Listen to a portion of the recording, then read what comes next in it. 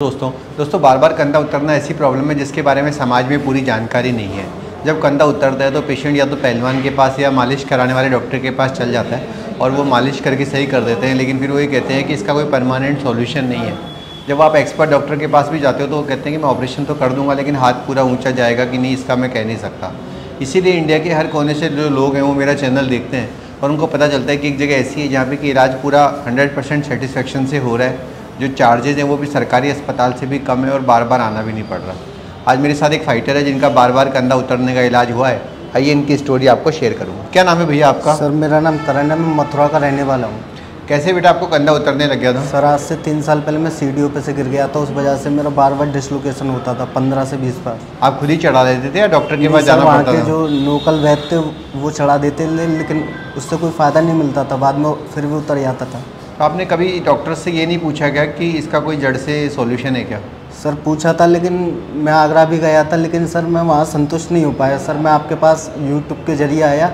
आपके मन में ऐसे नहीं आया बेटा कि जैसे यूट्यूब पे कई लोग फेक वीडियो भी तो बना सकते हैं अपने दोस्त को खड़ा करके और ऐसे? नहीं सर ऐसा कुछ नहीं लगा मुझे। यहाँ का ऑपरेशन का एक्सपीरियंस कैसा रहा? कितना दर्द होता है इस ऑपरेशन में? पता ही नहीं पड़ा जो चीज़ मैं सोच रहा था वो बिल्कुल पता ही नहीं पड़ा मुझे।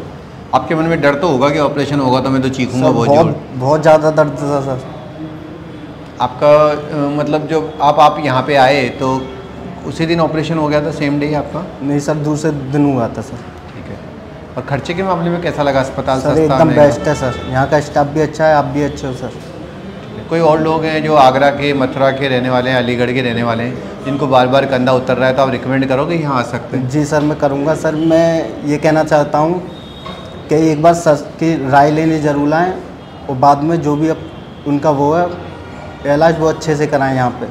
दोस्तों, मैं आपको समझाना चाहूँगा कि देखिए बार बार कंधा उतरना जो प्रॉब्लम है, उसमें दो प्रॉब्लम होती है। एक तो बैंकार्ड लीजन होता है, एक हिलसैक होता है, एक बोन लॉस होता है। तो अगर आपके बैंकार्ड और हिलसैक लीजन होते हैं तो इस चीज़ का इलाज चूरन, चटनी या फिजियोथेरेपी से तो होगा नहीं ऑपरेशन तो होगा ही।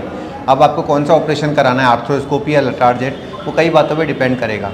फॉर एग्ज़ाम्पल अगर आपको कोई छोटा मोटा काम करना है, आपका जो मेन काम है वो सेडेंट्री है, आप टीचर हैं, ज़्यादा कोई आपको जिम करने का गेम खेलने का नहीं है अकाउंटेंट हैं, या तो कैशियर हैं बैंक में काम करते हैं, तब आप आर्थ्रोस्कोपी सर्जरी करा सकते हो। लेकिन अगर आप पुलिस में हैं आर्मी में हैं, किसान हैं, मजदूर हैं, आपको भारी काम करना है, आपकी एज कम है, आप गेम खेलना चाहते हो तो आपके लिए लटारजेट बढ़िया रहेगा। दोनों ही ऑपरेशन की सुविधा हमारे यहाँ सरकारी अस्पताल से भी जो कम चार्जेज होंगे, उसमें उपलब्ध है। ठीक है बेटा मैं आपको इस जगह के चुनाव के लिए बधाई देता हूँ। दोस्तों अगर आप लोगों का भी कंधा उतर रहा है तो आप नीचे लिखे गए नंबरों पर संपर्क कर सकते हो या फिर हमारी प्ले स्टोर पर ऐप है हेल्थ एंड चैट वहाँ पर भी डाउनलोड करके और अपनी प्रॉब्लम शेयर कर सकते हो। कॉन्ग्रेचुलेशन ठीक है सर